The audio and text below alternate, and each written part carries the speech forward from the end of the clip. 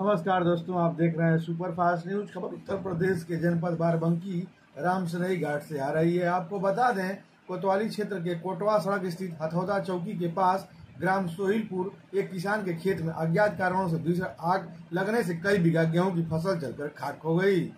आपको बता दें, कोटवा सड़क ग्राम सोहिलपुर के किसान जय क्रांति पुत्र बाबूलाल, शशिकांत पुत्र बाबूलाल के गेहूँ के खेत में काफ़ी तेज़ी से अग्नि का प्रकोप बढ़ा जिसमें पंद्रह बीघा गेहूँ की फ़सल को अग्नि ने खा लिया वहीं पर ज़मीन काली दिखाई पड़ने लगी, जिसकी सूचना पाकर फायर ब्रिगेड की टीम पहुँची।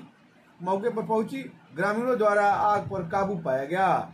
मौके पर पहुँचे कोतवाली प्रभारी लालचंद सरोज, से Harshit Singh Chauhan, dial hundred UP, बत्तीस डीजे, सोलह संतानवे एच लालचंद यादव, सीपी ब्रिजेन एस श्रवण कुमार शुक्ल, बता दें कि मणिकोडर ब्लॉक क्षेत्र के सोहिलपुर गाँव के पास खेत में अचानक आग लग गई। खेत में धुआँ उठता देख एक किसान अपने खेत में आ रहा था। दौड़ते दौड़ते लोगों को अवगत कराया, जिसकी जानकारी ग्रामीणों को हुई तो देखा कि गेहूँ की फ़सल धू धू कर जल रही है।